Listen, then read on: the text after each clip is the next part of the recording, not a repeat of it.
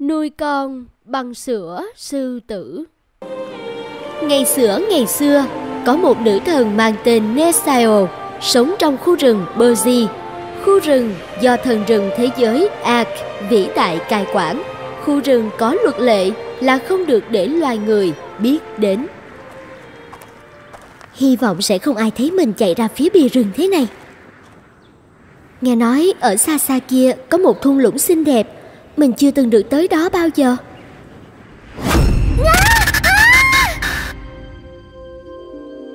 Nữ thần Nesael Nàng thừa biết luật lệ của chúng ta là không được ra khỏi khu rừng này. Tại sao nàng lại phạm luật? Tôi... Sao nàng cả gan như thế Nesael? Rời khỏi khu rừng này là điều mà tất cả chúng ta ở đây chưa từng nghĩ tới. Vậy mà nàng còn dám hành động chạy đến bìa rừng để ngắm thế giới bên ngoài nếu thần rừng thế giới ác bắt gặp, Chắc chắn nàng sẽ bị trị tội nặng. Thật may ngài ấy chưa đến thăm khu rừng của chúng ta đó. Có lẽ do đã chịu đựng chuỗi ngày nhàm chán này quá lâu, Nên tôi đã không còn kiên nhẫn với tình trạng của mình. Tôi chỉ muốn làm điều gì đó thực sự thú vị và mới mẻ thôi. Mỗi tháng vào dịp trăng tròn, Chúng ta được nhảy múa trong hoàng cung, Rồi tiệc quả hạnh, Lễ kỷ niệm những sắc màu mùa thu, Lễ ngày đâm chồi nảy lộc. Chẳng lẽ những dịp lễ này chưa đủ làm nàng vui hay sao? Nhưng những dịp lễ đó thường cách xa nhau, còn lại khoảng trống giữa chúng là những chuỗi ngày nhàm chán. Chẳng lẽ mọi người không thấy như thế sao? Sao bỗng dưng lại nổi gió lớn thế này? Không lẽ sắp có bão ư? Tại sao ta không thấy có dấu hiệu báo bão nhỉ? Mọi người, mau chóng bảo vệ khu rừng Các nữ thần của ta. Các nàng làm tốt nhiệm vụ của mình lắm. Thần rừng ác trở về. Chào mừng thần rừng ác. Lâu lắm rồi ta mới trở về khu rừng Bruce Nhưng mọi thứ đều tốt tươi, xinh đẹp. Thật đáng khen cho các nữ thần của ta. Thưa thần rừng thế giới Lần này trở về Người có mang câu chuyện nào của thế giới bên ngoài Để kể cho chúng con nghe không? Tất nhiên là có chứ Các nàng được phép nằm dưới chân ta Để nghe ta kể chuyện. Tuyệt quá! Ác là thần rừng của toàn thế giới. Ngài đi khắp mọi nơi Có thể nhìn thấy mọi thứ Và biết được tất cả mọi chuyện trên thế gian. Nàng Nesao nằm dưới chân Ngài cùng các nữ thần chị em của mình Chăm chú lắng nghe Ngài nói. Hay quá! Không ngờ lại thú vị như thế Người thật là may mắn thưa thần rừng ác. Các nữ thần xinh đẹp của ta ạ à, Chúng ta đã sống quá hạnh phúc trong khu rừng của mình. Đến mức chúng ta không biết gì Về những đau buồn và nghèo khổ Của rất nhiều những con người đáng thương Đang sống ở những vùng đất trống ngoài kia của trái đất. Con người đáng thương là những ai thế thưa thần rừng? Họ không cùng một loài với chúng ta. Ồ, còn có giống loài khác chúng ta sao? Có chứ đó là do các con không biết thế giới bên ngoài đó thôi. Xin người hãy kể cho chúng con nghe về họ Giống loài người ấy đi ạ. À? Ừ Chúng ta vốn là một giống loài được ưu ái dạo lòng trắc ẩn Nên Mỗi khi đi qua nhà của những con người Đang bị đau khổ dày vò Ta lại động lòng muốn dừng lại Và giúp họ xua tan những đau khổ. Nhưng đau khổ cũng là một phần số mệnh của loài người Và chúng ta không có quyền can thiệp vào quy luật của tự nhiên Nói thế thôi, chứ ta đoán rằng thần ác thể nào vẫn thường giúp đỡ loài người. Đúng thế, khi họ còn rất nhỏ, loài người gọi là những đứa trẻ. Ta đã dừng lại để cứu vớt chúng khỏi những buồn đau. Còn những người trưởng thành thì ta không dám can thiệp. Vì sao thế thưa ngài? Vì họ phải chấp nhận gánh nặng mà tự nhiên đã đặt lên vai họ. Còn những em bé thì vô tội những đứa trẻ ngây thơ của loài người Chúng có quyền được hưởng hạnh phúc Cho đến khi chúng thật sự trưởng thành. Nên ta nghĩ là ta có lý do Khi ra tay giúp đỡ các em bé. Gần đây cách khoảng một năm Ta có gặp bốn đứa trẻ đáng thương Đang nằm co ro cúm rúm vì lạnh Trong một túp liều cổ Chúng đang sắp bị chết cống. Bố mẹ của chúng đi đâu vậy? Bố mẹ chúng sang ngôi làng bên cạnh tìm thức ăn Và đã nhóm sẵn một đống lửa để giữ ấm cho những đứa con nhỏ bé trong khi họ đi vắng. Nhưng một cơn bão nổi lên và phủ tuyết suốt đường nên họ đã phải mất nhiều thời gian di chuyển. Trong khi đó, lửa đã tắt và sương giá đã thấm vào tận xương của những đứa trẻ đang chờ đợi giữa túp lều. Ta đã lấy gỗ từ những khu rừng của mình, thổi cho chúng tới khi đóng lửa rực sáng trở lại và sưởi ấm túp lều nhỏ bé mà những đứa trẻ đang nằm. Sau đó bọn trẻ hết run rẩy và ngủ tiếp cho đến khi bố mẹ chúng trở về. Và đúng vào tối nay, khi đi đến rìa rừng Bruce, ta nghe một tiếng khóc mong manh. Ta nghĩ đó là tiếng khóc xuất phát từ một trẻ sơ sinh của loài người. Trời ơi, thật như thế sao? Ôi trời! Người có tìm kiếm xem tiếng khóc đó thực sự có phải của đứa trẻ sơ sinh không? Ta đã nhìn quanh và tìm thấy ở gần rừng một em bé trần truồng trên cỏ thực. Nó khóc thúc thích rất đáng thương. Không xa đó sư tử Siga đang thu mình lấy đà định ngấu nghiến đứa bé. Ôi! Và ngài phải làm gì chứ, thưa thần rừng? Có, nhưng không nhiều. Ngài đã làm gì? Bởi vì ta đang vội đến để chào các nữ thần của ta. Nhưng ta đã lệnh cho sư tử Siga lại gần cho em bé bú để qua cơn đói khát. Và ta đã dặn Siga truyền lời của ta đến tất cả những động vật trong rừng rằng không kẻ nào được làm hại đến bé. Cảm ơn ngài đã làm điều đó. Ta chắc rằng nàng đang rất xúc động phải không? Nasile, nàng vốn vẫn dạo lòng trắc ẩn nhất trong tất cả các nữ thần ở đây. Chà, đúng là không điều gì có thể qua được mắt thần rừng ác. Nhưng mà ta...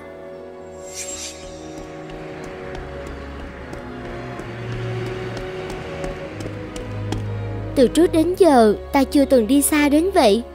Ta đang phạm luật. Nếu thần rừng ác và mọi người biết ta tìm đến đứa trẻ, thể nào ta cũng bị trách phạt. Nhưng trái tim mình cứ thúc giục phải tìm đến đứa trẻ đó.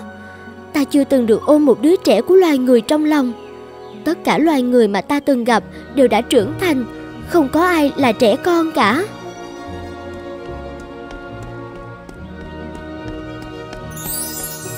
Ôi, đứa bé đây rồi.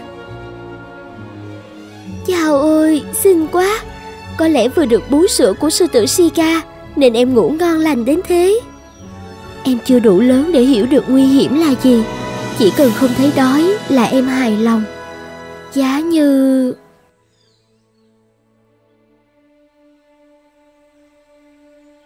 Có kẻ lạ đang xuất hiện trong rừng. Hình như thế thật. Ai? Kẻ nào lại dám xuất hiện trong khu rừng thẳm của chúng ta? Là tôi mang đến. Chính là tôi. Tôi đã mang đứa trẻ sơ sinh mà thần rừng ác kể về đây. Nàng điên rồi, Nesaio. Nếu các nàng gặp đứa trẻ này, các nàng cũng sẽ không thể nỡ bỏ lại nó. Nó đáng yêu vô cùng. Đứa trẻ đáng yêu thực sự. Trời ơi, ta cũng chưa từng thấy một đứa trẻ của loài người bao giờ. Xinh quá. Chù choa, ta cũng muốn ôm đứa trẻ vào lòng. Nhưng nàng đã phạm luật, nàng sẽ bị trừng phạt nặng mất thôi nè, Sayo ạ. À. Ta chấp nhận điều đó. Giá như... Mạnh mẽ lên nào Nesaio Mình chấp nhận bị trừng phạt Mình sẵn sàng nhận trừng phạt Lần đầu tiên, ta được biết một nữ thần rừng Đã không tuân lệnh vào luật lệ của ta, Nhưng tim ta lại không thể khiển trách Mong muốn của con là gì, Nesile Xin người hãy cho con được nuôi dưỡng đứa trẻ Tại đây ư Trong rừng Bruce Nơi mà loài người chưa từng bước chân tới Vâng, tại đây Trong khu rừng Berzi Đây là nhà của con và con đang cảm thấy nhàm chán với công việc hàng ngày của mình. Hãy để cho con được chăm sóc em bé.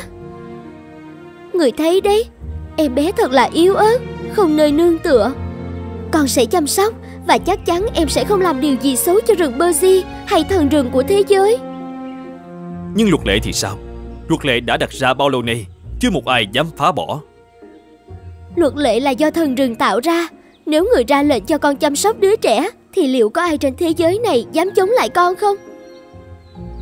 Chúng con cũng cầu xin người, thần rừng, mong người hãy lưu tâm đến lời thỉnh cầu của Nesaio. Mong người hãy suy nghĩ kỹ ạ. À? Được rồi, Nesile được phép nuôi đứa bé và ta sẽ bảo vệ nó. Con cảm ơn người, thần rừng cao quý. Nhưng ta muốn cảnh báo với tất cả các con rằng đây là lần đầu tiên và cũng là lần cuối ta nới lỏng luật trình. Từ nay sẽ không còn một con người nào khác Được một vị thần tiên như chúng ta nuôi nấng Nếu không thì Chúng ta sẽ phải từ bỏ cuộc sống hạnh phúc này Vì những rắc rối và lo âu gây ra Vâng ạ Chúc các ngươi ngủ ngon Hỡi những nữ thần rừng của ta Từ giờ ta sẽ là mẹ của con. Em bé tuyệt quá Nesaio ạ. À. Đáng yêu quá, Ta muốn được bế đứa trẻ quá. Ta cũng thế. Từ đó, Nữ thần Nesaio xinh đẹp, Chăm lo cho đứa trẻ. Các nữ thần rừng cũng thích thú, Vây quanh nàng với em bé. Ai nấy đều tò mò Và sung sướng. Thần rừng ác tuyệt vời quá. Ngài đã cho phép Nesaio được giữ lại em bé Và chăm sóc em. Lòng tốt của người thật vĩ đại. Đúng thế, Nhưng chúng ta sẽ gọi đứa bé thế nào đây Nesaio Đứa trẻ phải có một cái tên chứ. Hãy gọi em bé là Klaus, Vì cái tên này cũng có nghĩa là một đứa trẻ. Hay là Santa Claus, Vì cái tên này có nghĩa là đứa trẻ của Nesaio Đúng đấy, hãy gọi đứa trẻ là Santa Claus. Vậy thì từ nay chúng ta sẽ gọi em là Santa Claus. Và Santa Claus trở thành tên của em bé. Từ ngày được chăm sóc Santa Claus Nữ thần Nesaio hạnh phúc vô cùng. Nàng không còn thấy cuộc sống nhàm chán nữa. Các nữ thần rừng cũng hạnh phúc không kém. Hàng ngày các nữ thần rừng đi tìm quả về làm thức ăn cho em bé ai cũng luôn sẵn lòng chia sẻ giúp đỡ sinh vật bé nhỏ xa lạ này còn sư tử cái Siga vẫn thường rón rén bò vào nhà Nesaio, gầm gừ dịu dàng khi nằm xuống bên cạnh em bé. 6 năm sau Nhìn kìa Nesayo, Santa Claus thực sự lớn rất nhanh. Thằng bé có lối suy nghĩ và lời nói ngọt ngào, dịu dàng như chính chúng ta vậy. Bởi vì xung quanh Santa đều là những nữ thần có trái tim thuần khiết và yêu thương. Quả thật từ khi có Santa, cả khu rừng của chúng ta rộn ràng hẳn lên, thằng bé trở thành con cưng của cả khu rừng. Đó là nhờ có sắc lệnh của thần rừng ác, người đã cấm tất cả thú vật và bò sát không được làm phiền đến Santa, nên thằng bé có thể đi lại thoải mái tới bất cứ chỗ nào em thích. Santa, con sợ dẫm lên những bông hồng nhỏ dưới chân ngư. Vâng ạ, à, nếu con dẫm vào chúng sẽ bị nát mất. Thằng bé không bao giờ dẫm nát dù chỉ một bông hoa nào trong rừng. Đúng thế, và thằng bé luôn nghĩ mình là duy nhất vì trong tất cả các tạo vật của rừng không có ai giống em cả.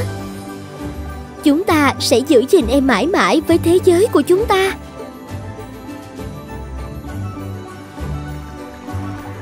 Năm tháng trôi nhanh trong khu rừng Berzi. Các nữ thần thì không để ý đến thời gian làm gì, vì họ vẫn mãi mãi như thế. Chỉ có Santa Claus là ngày một trưởng thành. Claus hiểu được rõ ngôn ngữ của thú vật, nhưng giờ đây Claus không thể cười vang khi những con thú dữ gầm lên hăm dọa. Có vẻ những tiếng gầm ấy không thể gần gũi được với chàng trai trẻ nữa. Chào mừng thần rừng trở về Berzi Xin chào các nữ thần của ta Thưa thần rừng, đây chính là Santa Claus Cậu bé sơ sinh năm xưa con cầu xin người được nuôi nấng, chăm sóc đấy ạ à? Claus, con chào thần rừng ác đi Chính ngài là người đã cứu con. Kính chào thần rừng Aka vĩ đại. Cặp mắt trong trẻ của thằng bé có sự trầm tĩnh. Hẳn là một người có trái tim trong sáng và dũng cảm. Các nữ thần rừng đã nuôi dưỡng Santa rất tuyệt vời Nhưng ta cũng cần dạy bảo thằng bé thêm nữa. Chào tạm biệt Nesile và các nữ thần chị em của nàng đi con Con sẽ cùng ta làm một chuyến vòng quanh thế giới. Vâng ạ. À. Ôi không, ta không muốn con rời khỏi đây chút nào. Thần rừng, người mang thằng bé đi đâu chứ? Thằng bé cần phải biết thế giới bên ngoài Rồi thằng bé sẽ trở về. Con đừng quá lo lắng. Nhưng thằng bé đã thuộc về thế giới của chúng ta. Nếu đưa thằng bé đi Liệu nó có trở về không? Ồ không, con thích chuyến đi này lắm. Vì con biết được đồng hành với vị thần rừng của cả thế giới Là một vinh hạnh tuyệt vời. Nhưng ngay sau khi kết thúc chuyến đi Con sẽ trở về bên mẹ còn nhớ nhé. Vâng. Chúng ta lên đường thôi nào con trai. Đặt tay con lên thắt lưng ta Và giữ chặt trong khi chúng ta bay lên bầu trời. Chúng ta sẽ đi vòng quanh thế giới Và ngó xuống rất nhiều căn nhà của những người Mà từ đấy con sinh ra.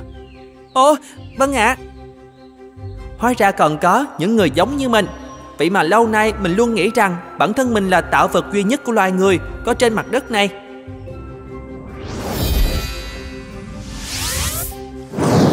Thế là Santa Claus lần đầu tiên theo thần rừng đi chu du thế giới. Cả khu rừng Bercy rộng lớn dường như tuột khỏi chân chàng trai. Con thấy những ngọn tháp xuất hiện bên dưới Thấp hơn nữa là những ngôi nhà với đủ hình thù màu sắc. Đó là thành phố của loài người phải không thần rừng? Đúng thế. Ta sẽ đáp xuống khu đất trống đằng kia. Con nắm chắc lấy tay ta nhé Con hãy nắm chặt lấy thắt lưng ta Thì con sẽ tàn hình trước cả loài người. Như thế con có thể thấy họ rất rõ. Nếu bỏ tay ra Con sẽ vĩnh viễn rời ta Và nhà của con ở Bruxelles đấy Vâng ạ. Con không ngờ ở đây lại ngập tràn toàn những tạo vật cùng loài giống như con. Đúng thế Thần tiên bất tử thì ít Còn có người hữu tử thì nhiều. Nhưng tại sao con thấy họ không đồng đều vui tươi như thế giới Bruxelles vậy Người thì buồn bã, người lại vui tươi. Có người thì lo âu. Tất cả trà trộn với nhau thật rối rắm và phức tạp.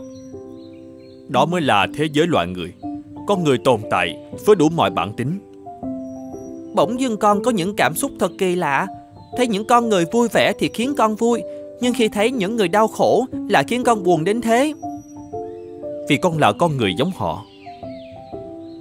Lạ nhỉ? Lạ thật Tại sao những đứa trẻ được nâng niu chiều chuộng kia Lại không hạnh phúc bằng những đứa trẻ đang chơi trong cát bụi và sỏi đá này? Bởi vì chúng được sinh ra từ những nơi khác nhau Có cả nhà tranh và có cả cung điện. Sự khác biệt về tài sản của cha mẹ Đã tạo nên số phận của đứa trẻ. Một số em được bọc trong nhung lụa Những em khác lại bị bỏ rơi trong đói nghèo và rách rưới. Vậy ư Thế nhưng con thấy dường như tất cả những đứa trẻ đều đẹp và ngọt ngào ngang nhau khi chúng còn là những em bé thì đúng thế. Niềm vui của chúng là được sống Và chúng không phải suy nghĩ gì. Nhưng khi lớn lên, Số phận bất hạnh của loài người bắt đầu đổ xuống. Chúng nhận ra mình phải nỗ lực và lo lắng, Phải làm việc và buồn phiền để với tới sự giàu sang. Đó là thứ mà trái tim loài người luôn tha thiết. Những điều đó không có trong khu rừng mà con vừa mới rời đi. Tại sao con lại ở trong rừng Giữa những thứ không cùng giống nòi với con? Đúng là con chưa từng biết về thuở sơ sinh của mình Vậy thì ta sẽ kể cho con nghe Thế là thân đương ác đã kể tất cả về câu chuyện thuở sơ sinh của Santa Claus, về việc cậu bị bỏ rơi ở rìa rừng và trở thành con mồi của thú hoang như thế nào. Về việc nữ thần Nesaio yêu quý đã cứu cậu và nuôi cậu trưởng thành dưới sự bảo vệ của thần tiên ra sao. Vậy mà con vẫn cảm thấy con không thuộc về họ, Những thần tiên đẹp đẽ. Con không phải là họ. Vị nữ thần, Người đã chăm sóc con như một người mẹ, Giờ nhìn đã như một người chị của con. Và theo thời gian trôi đi, Lúc con đã già rồi, Nàng sẽ trông như một đứa con gái của con. Thêm một khoảng thời gian ngắn nữa, Khi con không còn là gì nữa ngoài kỷ niệm, Thì nàng vẫn mãi là Nesile. Có vẻ Santa Claus rất bận tâm đến những đứa trẻ. Tại sao mình lại muốn được gần gũi với những đứa trẻ kia thế nhỉ Bỗng dưng mình muốn ở lại đây với loài người Có thể mình sẽ làm được những điều hữu ích cho họ Từ đó, Santa Claus trở nên u ám, trầm tư trong suốt cuộc hành trình. Họ đến thăm rất nhiều nơi ở của con người tại nhiều nơi trên thế giới. Ở bất cứ nơi đâu thì cặp mắt Santa Claus cũng hướng về những em bé với tình yêu và lòng thương cảm. Những đứa trẻ ngọt ngào đáng yêu Ta khao khát được giúp đỡ chúng Như ta đã từng được vị nữ thần rừng tốt bụng cứu giúp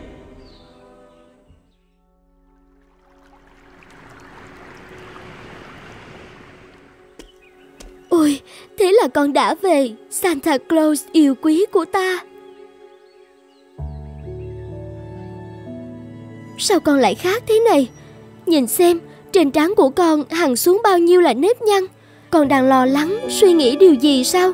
Con không còn là đứa trẻ luôn vui vẻ và hay cười nữa rồi Thần rừng Aka vĩ đại đã cho con biết mình là ai Các vị, những người sống thật ngọt ngào trong khu rừng của mình Các vị không thể thích hợp với một đứa con của loài người là con Ta biết ngay mà Ta biết ngay sự thể này sẽ xảy ra mà Con thuộc về loài người Và số phận của loài người là số phận của con. Trái tim con sẽ luôn nhớ tới tấm lòng của các vị Đặc biệt là mẹ nuôi Nesile của con. Nếu con còn sống thì còn yêu thương Và luôn giữ hình ảnh mẹ trong lòng Nhưng con phải rời xa mẹ thôi. Con sẽ làm gì? Con sẽ cống hiến cả đời con Để chăm sóc cho những đứa trẻ của loài người Và cố gắng làm chúng hạnh phúc. Chính sự chăm sóc dịu dàng của các vị với con Đã đem lại cho con hạnh phúc và sức mạnh Con sẽ dâng đời mình cho hạnh phúc của những em bé khác Nhờ đó, những kỷ niệm về nữ thần Nesile yêu dấu cũng sẽ được nảy mầm trong tim của hàng nghìn đứa trẻ. Như vậy có được không thưa thần rừng? Con nói rất đúng. Khi con bước vào thế giới loài người, con sẽ vẫn có được sự bảo hộ của rừng. Bất cứ khi nào con cần giúp đỡ, con có thể nhờ các nữ thần rừng. Chúng ta rất vui mừng được phục vụ con. Con sẽ cố gắng hết mình để làm tròn nhiệm vụ của mình. Chúng ta cũng sẽ làm thế. Chúng ta cũng sẽ làm thế. Tất cả các nữ thần đều tung hô. Chỉ có nàng Nesaio không nói gì. Nàng xúc động, ôm chặt Santa trong vòng tay, âu yếm của mình. Thế là Santa Claus rời xa mẹ nuôi và khu rừng Bercy để đến thung lũng cười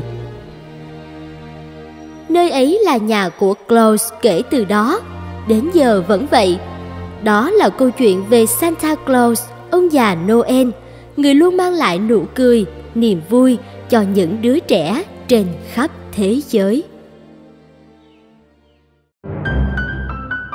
Đăng ký kênh ngay đi nào! Mỗi ngày, bài học cuộc sống sẽ cho bạn xem các video thú vị nhất